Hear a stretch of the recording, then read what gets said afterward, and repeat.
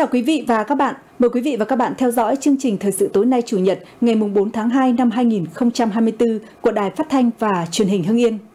Sau đây là những nội dung đáng chú ý sẽ có trong chương trình. Tập trung xây dựng các khu tái định cư cho đường vành đai 4. Đẩy nhanh tiến độ thi công đường Tân Phúc Võng Phan. Công ty cổ phần Tiên Hưng nỗ lực vượt qua khó khăn. Dạy trẻ yêu Tết Việt. Đảm bảo cung ứng nước sạch ngày Tết. Hiện nay, các đơn vị nhà thầu đang tập trung thi công các khu tái định cư phục vụ giải phóng mặt bằng cho đường vành đai 4 trên địa bàn xã Lạc Đạo, huyện Văn Lâm. Xã Lạc Đạo có 3 vị trí tái định cư với diện tích trên 4 ha, trong đó vị trí có diện tích lớn nhất là khu tái định cư Đông Thôn Hoàng rộng 2,56 ha đã tiến hành bóc lớp hữu cơ san nền làm đường đáp cát được gần 6.000 mét khối. Công trình nhà văn hóa Thôn Hoàng hoàn thành đổ mái tầng 1 và đang tiến hành thi công tầng 2. Các vị trí tái định cư Tây Thôn Hoàng và thôn Xanh Tý cũng đang được khẩn trương bóc lớp hữu cơ, xây tường bao, xây bể thu gom, xử lý nước thải sinh hoạt. Nhà thầu huy động gần 40 cán bộ công nhân cùng hàng chục máy móc thiết bị để tập trung thi công. Hiện nay khó khăn lớn nhất là thiếu nguồn cung cát săn lấp. Vì thế, nhà thầu xác định bất kỳ thời điểm nào, kể cả Tết Nguyên đán, sẽ bố trí nghỉ Tết luân phiên để cứ có vật liệu là tổ chức thi công ngay nhằm đảm bảo tiến độ hoàn thành dự án theo đúng hợp đồng. Chúng tôi cam kết anh em sẽ ờ, 3K 4 kíp và sẽ có cán bộ công nhân viên thay nhau trực ở công trường. Kể cả những ngày Tết là anh em à, cũng vẫn làm. Không có ngày nghỉ, làm sao để đảm bảo kịp tiến độ cho khu tái định cư. Dự án đường Tân Phúc Võng Phan có tổng chiều dài 29,2 km với số vốn gần 2.900 tỷ đồng. Thời điểm cận Tết Giáp Thìn 2024, trên những công trường đang thi công, các nhà thầu xây dựng vẫn tích cực đẩy nhanh tiến độ của dự án. Sau khi trúng thầu với số vốn 845 tỷ đồng với chiều dài trên 12 km, chiếm 41% giá trị công trình, công ty cổ phần Lizen đã tập trung nguồn lực với gần 60 đầu máy và hơn 100 công nhân, kỹ sư thi công ngày đêm trên 4 mũi tuyến chính.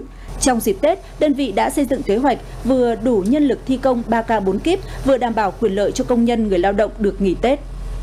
Cận Tết thì anh em cũng hết sức mình để đóng góp vào cái công trình giao thông của địa phương đảm bảo cái công tác lịch nghỉ Tết cho người lao động cũng như là cái công tác triển khai trong Tết thì nhà thầu Lizen cũng bố trí là nhân lực trực Tết và nhân lực là nghỉ Tết. Anh em thay nhau thường xuyên để mà đảm bảo cái công tác là nghỉ Tết cho anh em. Dù mới khởi công được trên 2 tháng, các nhà thầu xây dựng đã tập trung nhân lực, máy móc, thiết bị thi công cật lực cả ngày lẫn đêm.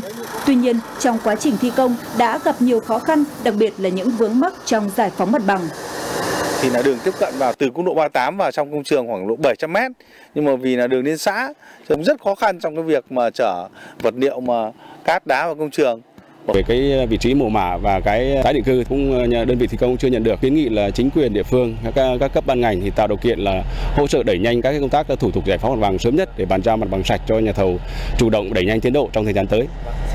Đến nay, các địa phương nơi dự án đường Tân Phúc Võng Phan đi qua đã bàn giao mặt bằng cho đơn vị thi công được trên 120 ha trên 175 ha. Thời gian tới, các địa phương sẽ tập trung cho công tác giải phóng mặt bằng liên quan tới đất thổ cư đất nghĩa trang. Cùng với đó, các nhà thầu xây dựng tập trung nguồn lực phấn đấu sẽ tiến hành thông xe vào tháng 9 năm 2025. Ban Quản lý Dự án Đầu tư xây dựng huyện Ân Thi vừa tổ chức chi trả tiền bồi thường hỗ trợ thu hồi đất nông nghiệp giải phóng mặt bằng để thực hiện dự án cụm công nghiệp Kim Động và cụm công nghiệp xã Đặng Lễ. Dự án cụm công nghiệp Kim Động đi qua xã Đặng Lễ có diện tích phải thu hồi khoảng 4,3 ha của 42 hộ dân thuộc hai thôn An Trạch và Cổ Lễ.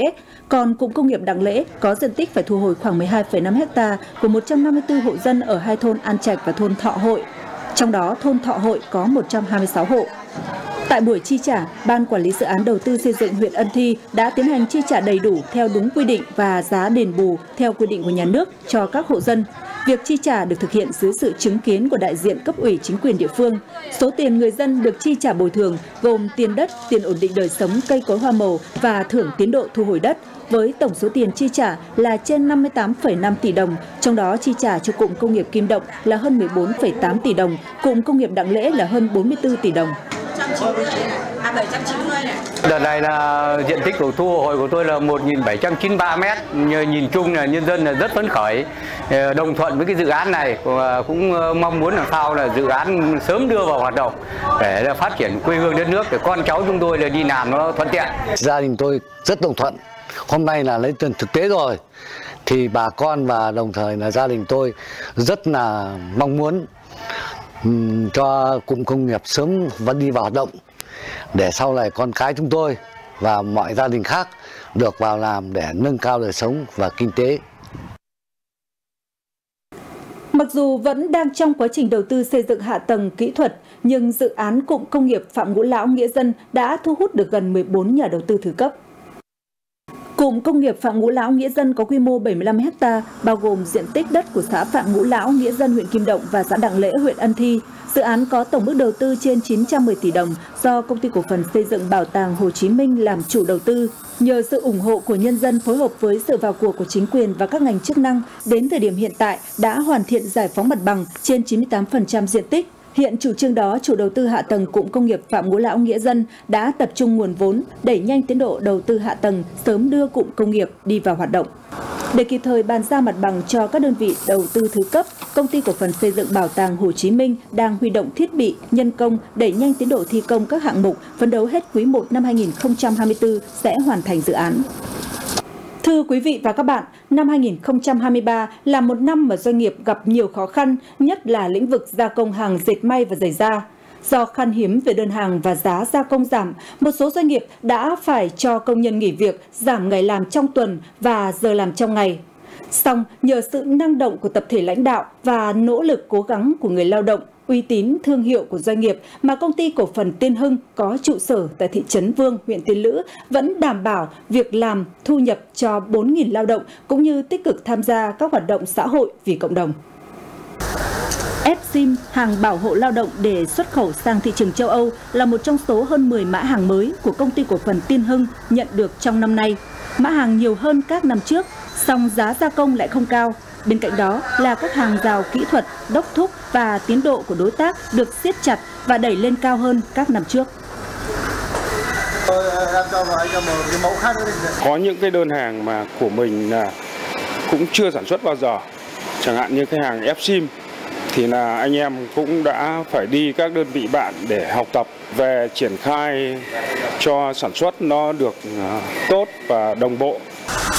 Tuy kết quả sản xuất giảm so với năm 2022, song năm 2023, doanh thu của công ty vẫn đạt 35 triệu đô la Mỹ, vượt 28% so với kế hoạch đề ra.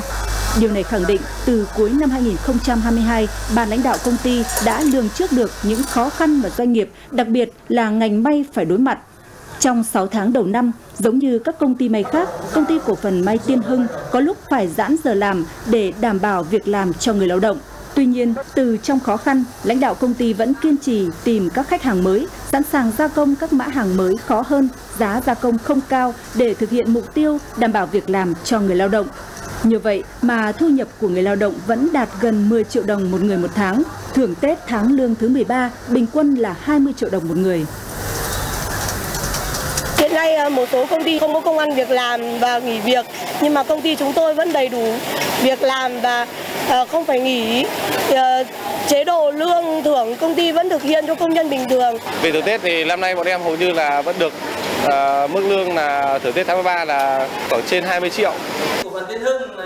Tuy gặp nhiều khó khăn, song năm 2023, công ty cổ phần Tiên Hưng vẫn dành gần 600 triệu đồng để tham gia các hoạt động xã hội vì cộng đồng như ủng hộ các quỹ từ thiện nhân đạo của tỉnh Hưng Yên và huyện Tiên Lữ, phụng dưỡng mẹ Việt Nam anh hùng, thường xuyên tặng quà cho các gia đình chính sách, hộ nghèo và công nhân có hoàn cảnh khó khăn. Hiện công ty nhận được đơn hàng tạo việc làm cho 4.000 công nhân đến hết quý 1 năm nay. Trong ờ, quá trình sản xuất ấy, thì năm nay thì ờ, đưa cái phần mềm của cái quản trị là công nghệ số vào để con là nhà máy làm việc. Thứ hai nữa là chúng tôi sẽ tiết kiệm con là những cái điện năng, rồi tiết kiệm con là các cái chi phí mà trong quá trình con là sản xuất chúng tôi sẽ rút lại để con là cái chi phí đó con là thấp đi và từ đó thì con là sẽ tăng được con là những cái lợi nhuận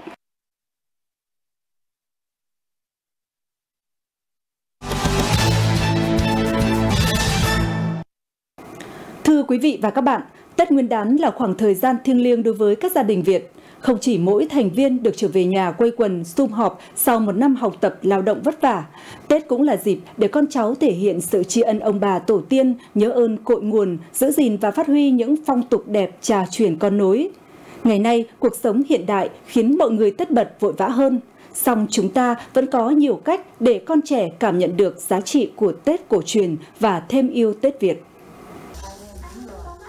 Là người yêu Tết và yêu trẻ, trước đây mỗi lần gói bánh trưng, bà Nhàn ở phường Hiến Nam, thành phố Hưng Yên đều gọi các cháu nội cháu ngoại của mình tới để hướng dẫn cách gói bánh trưng.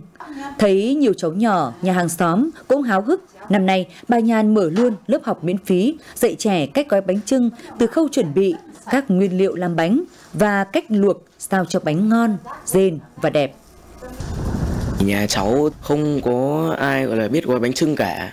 Mà bà lại mở một lớp miễn phí như này. Bà đã tốn cả thời gian lẫn cả công sức của mình để giúp cho bọn cháu biết gói bánh trưng Thì cháu thấy rất là vui và rất là cảm động ạ trước cháu không có nhiều cảm xúc về Tết. Kiểu là đi học là được nghỉ ở nhà chơi. Bây giờ nếu mà được trải nghiệm này thì có nhiều cảm xúc hơn và có nhiều ấn tượng hơn về ờ, phong tục gói bánh trưng của ngày Tết. Làm là một phần nhưng cũng muốn truyền đạt là cho các cháu để cho nó nó biết được cái phong tục rồi cái ừ, cách làm. Các cháu nó đến đây nó học nó cũng phấn khởi, cũng thích, cũng ham mê.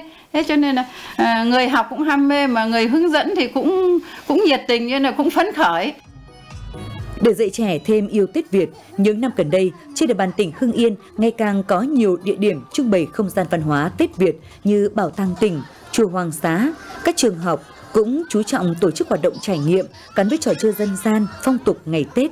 Tại lễ hội xuân của trường mầm non Hoa Sứ, nhiều hoạt động ý nghĩa mang màu sắc truyền thống được tái hiện để dạy cho trẻ những bài học về cội nguồn, như tục gói bánh trưng, các trò chơi dân gian ngày Tết, vẽ tranh, tặng thiệp chúc Tết. Con tham gia lễ hội này, con được trải nghiệm rất nhiều các hoạt động như là gói bánh trưng, biểu diễn văn nghệ, kéo co. Con cảm thấy rất vui. Cuộc sống hiện đại thì là cái không gian của cái Tết cổ truyền ấy nó dần một mai một thì đây cũng là một cái dịp mà để các cháu cũng thể là sẽ trải nghiệm cái Tết truyền thống một cách đầy ý nghĩa. Đây không chỉ là một ờ, hoạt động trải nghiệm mà còn là một tiết học để giúp các con hiểu thêm về văn hóa truyền thống, lịch sử của dân tộc ta. Các con còn được ờ, tham gia tiệc trà, ờ, tham gia các tiết tạo hình, ví dụ như là làm thiệp hoa này, uh, viết các ước mơ của mình lên trên thiệp để gửi gắm những cái thông điệp tốt đẹp nhất đến năm 2024 Giúp con trẻ có cơ hội được tự làm, tự trải nghiệm, tự cảm nhận chính là cách hiệu quả nhất để các em thêm hiểu biết, trân trọng, yêu quý văn hóa truyền thống của dân tộc. Tết Giáp Thìn 2024 đang đến, khắp nơi nơi đã rộn ràng sắc xuân và trong ánh mắt của con trẻ, ngày Tết sẽ càng trở nên ý nghĩa khi người lớn biết gửi trao. Cận Tết và sau Tết là thời điểm nhu cầu sử dụng nước sạch của người dân tăng. Để cung ứng đầy đủ nước sạch và ứng phó những trường hợp mất nước, thiếu nước, các công ty nước sạch tại huyện Phù Cử đã lên kế hoạch cấp nước đầy đủ cho người dân. Công ty nước sạch Phù Tiên hiện đang cung ứng nước sạch cho khoảng 6.000 hộ dân tại huyện Phù Cử. Trong đó, những xã có tỷ lệ đông dân như Đình Cao, Đoàn Đào. Với ngày thường, công ty cung ứng khoảng 3.000 mét khối nước cho người dân Tuy nhiên, thời điểm cận Tết này, nhu cầu sử dụng nước tăng đến 4.500 mét khối trên ngày. Là xây dựng kế hoạch chi tiết đến tận từng ngày, vận hành một số cái đạ trạm trung chuyển đáp ứng kịp thời cho bà con à, sử dụng dịp Tết Nguyên đán này. Bà con là sử dụng nước sạch an toàn, tiết kiệm và đồng thời là cũng giữ gìn à, đảm bảo đường ống cho vận hành liên tục. Hiện huyện Phục Cừ có 4 đơn vị nhà máy nước sạch cung ứng cho khoảng trên 18.000 hộ trên tổng số gần 22.000 hộ dân trong huyện đạt tỷ lệ khoảng 80%. Thời điểm cận Tết này, nhu cầu sử dụng nước của người dân tăng khoảng 20% so với ngày thường. Các nhà máy nước đã lên kế hoạch sử dụng máy bơm dự phòng, thường xuyên kiểm tra bảo dưỡng hệ thống đồng hồ, đường ống dẫn nước. Bà con trong khu vực được cấp nước sạch sinh hoạt, cái thứ nhất là đảm bảo được đường ống không vỡ, không hỏng, dân không được đốt rác. Các hộ gia đình đào bới làm nhà là phải kiêng đường ống các đơn vị thi công làm đường làm xá cũng phải cố gắng để tránh đường ống nước sạch. Thời gian qua, các đơn vị nước sạch trên địa bàn huyện Phù Cử đã nâng cấp gần 60 km đường ống, lắp thêm 5,5 km đường ống. Đến nay, tỷ lệ lắp đặt mạng lưới ống cấp nước toàn huyện là 755 trên 755 km, đạt 100%. Ngoài ra, người dân địa phương cần sử dụng nước hợp lý, tránh lãng phí. Các việc như vệ sinh chuồng trại, nhà cửa, rửa xe cần thực hiện sớm, tránh những ngày cận Tết để không xảy ra tình trạng mất nước, thiếu nước cục bộ. Sáng nay, đoàn công tác Sở Công Thương đã đi kiểm tra tình hình kinh doanh hàng hóa phục vụ Tết Nguyên đán Giáp Thìn 2024 tại một số chợ và siêu thị trên địa bàn tỉnh. Đoàn đã kiểm tra nguồn hàng dự trữ giá bán sức mua của thị trường, nguồn gốc sản phẩm tại các chợ và siêu thị gồm chợ gạo thành phố Hưng Yên, chợ Bao Bì thị xã Mỹ Hào, siêu thị Intimex và The City trên địa bàn huyện Yên Mỹ. Thời điểm này, nguồn hàng bày bán tại các chợ và siêu thị phong phú đa dạng, sức mua tăng khoảng 30% so với thời điểm khác trong năm, giá bán ổn định. Các siêu thị đã chủ động dự trữ nguồn hàng hóa và tổ chức nhiều chương trình khuyến mại giảm giá, đồng thời xây dựng kế hoạch dự trữ, cung ứng hàng hóa đảm bảo cân đối cung cầu, bình ổn giá, chống buôn lậu gian lận thương mại, sản xuất kinh doanh hàng giả, hàng kém chất lượng, đáp ứng nhu cầu mua sắm của nhân dân. Dịp Tết Nguyên đán, nhu cầu mua sắm của người dân tăng cao, lượng hàng hóa tập trung về các chợ nhiều, tiềm ẩn nguy cơ cao xảy ra cháy nổ. Vì vậy, công tác đảm bảo an toàn phòng chống cháy nổ cần được các ngành chức năng, các địa phương, ban quản lý các chợ và các tiểu thương tăng cường công tác phòng ngừa. Cuối năm nay, anh Tuyến nhập hơn 100 mặt hàng để bán dịp Tết. Trong đó có nhiều mặt hàng đồ nhựa tiềm ẩn nguy cơ cháy nổ cao. Ngoài việc thường xuyên được ban quản lý chợ Như Quỳnh tuyên truyền về công tác phòng cháy chữa cháy, anh cùng với nhiều tiểu thương trong chợ rất cảnh giác khi lượng hàng hóa cuối năm nhập về nhiều với kinh phí lớn. Tất cả điện đó có chế độ à, ngắt rộng là khi chập cháy là tự ngắt tất cả hệ thống điện uh, gian hàng của chúng tôi. Nguồn hàng của chúng em là rất là nhiều nên là bọn em rất là sợ về vấn đề cháy nổ này nên là rất là phải cẩn thận. Trước khi ra về là tắt hết điện cầu dao. Chợ Như Quỳnh được xây dựng từ năm 2018 với trên 200 gian hàng, trong đó có hơn 40 gian đang hoạt động. Chợ đã đầu tư hàng tỷ đồng trang thiết bị phòng cháy chữa cháy cùng với việc trang bị cho mỗi gian hàng hai bình chữa cháy. Nắm bắt được nhu cầu hàng hóa tiêu dùng cuối năm tăng cao, ban quản lý chợ thường xuyên tuyên truyền cũng như nâng cao cảnh giác cho các tiểu thương trong chợ. Về công tác phòng cháy chữa cháy thì hàng tháng kết hợp cùng với cả tiểu thương là tập huấn và diễn tập cơ bản là các tiểu thương họ biết thao tác và sử dụng được những cái bình chữa cháy trong dịp Tết Nguyên đán, tình hình sản xuất kinh doanh lưu trữ hàng hóa tăng cao, kéo theo khí hậu, hanh khô sẽ tiềm ẩn nhiều nguy cơ mất an toàn về phòng cháy chữa cháy. Do đó, ngành chức năng cần thường xuyên tăng cường kiểm tra cũng như tuyên truyền nhắc nhở tới các tiểu thương, hộ kinh doanh về công tác phòng cháy chữa cháy. Bên cạnh đó, các tiểu thương cần nêu cao tinh thần cảnh giác, thực hiện nghiêm túc các biện pháp phòng cháy chữa cháy, chủ động các biện pháp phòng ngừa, không để xảy ra cháy. Nhằm tăng cường công tác phòng cháy chữa cháy ngay tại cơ sở, trong năm 2023, xã Tân Quang, huyện Văn Lâm vận động xã hội hóa để xây dựng 10 điểm phòng cháy chữa cháy công cộng tại tất cả các thôn. Xã Tân Quang đã vận động được một số doanh nghiệp trên địa bàn hỗ trợ trên 35 triệu đồng để xây dựng 10 điểm phòng cháy chữa cháy công cộng với tủ đựng bình cứu hỏa, hướng dẫn, tiêu lệnh chữa cháy đặt tại trung tâm các khu dân cư ở 8 thôn Bên cạnh giao cho các khu dân cư tự quản lý, công an xã cũng tích cực hướng dẫn các biện pháp phòng cháy chữa cháy cho người dân. Toàn xã cũng thành lập được 20 tổ liên gia an toàn phòng cháy chữa cháy.